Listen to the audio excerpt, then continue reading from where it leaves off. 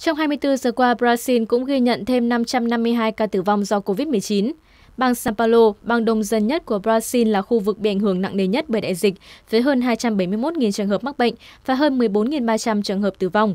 Đứng thứ hai là bang Rio de Janeiro với hơn 111.000 trường hợp mắc bệnh và hơn 9.800 ca tử vong. Kể từ khi xác nhận ca mắc COVID-19 đầu tiên vào ngày 26 tháng 2, Brazil đã trở thành quốc gia có số ca mắc và tử vong do COVID-19 cao thứ hai trên thế giới chỉ sau Mỹ.